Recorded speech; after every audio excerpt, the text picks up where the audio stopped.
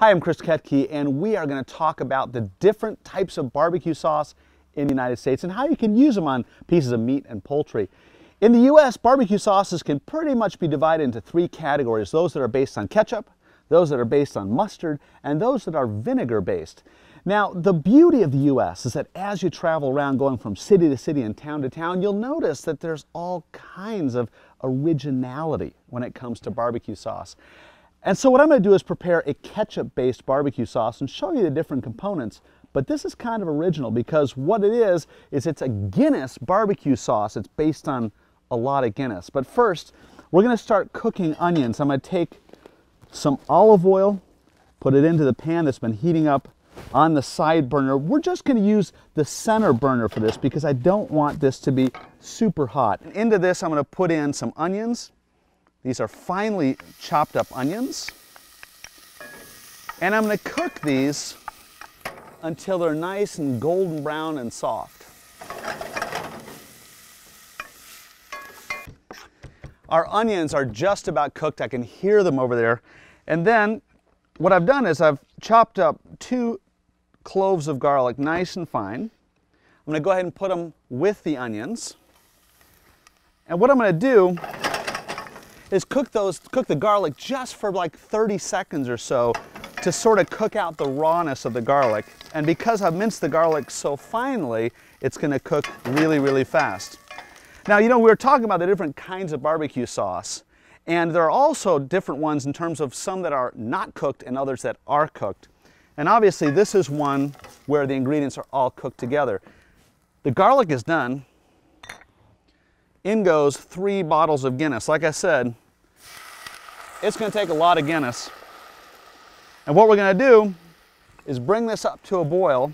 And then once it comes to a boil, we're just going to keep boiling that on high heat. So this is the time to flip on the second burner and get that going nice and hot. And we're going to reduce that until there's about this much left in the pot.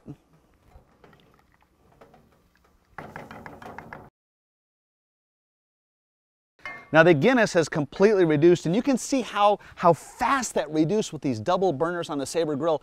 They are so powerful. You really got to keep an eye on that because it does reduce quickly. Now what we've incorporated so far, we have onion, we have garlic, which gives us a little bit of a, a sweet and pungent flavor profile. Then I have the Guinness, that gives us the bitterness. Now in goes the rest of it.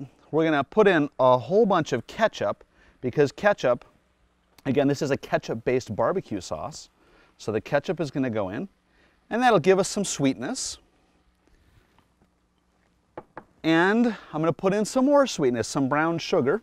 The brown sugar is essential because what that's doing is that's balancing the bitterness of the Guinness. Again, what makes a great barbecue sauce is creating this balance between all the different flavors. Now, in addition to that, a lot of barbecue sauces including this one, have lots of little ingredients which gives it the complexity. For instance, I have over here some salt, I have some cumin black pepper, some dried mustard powder, and that's just gonna go sliding in to the dish, into the barbecue sauce, along with some soy sauce.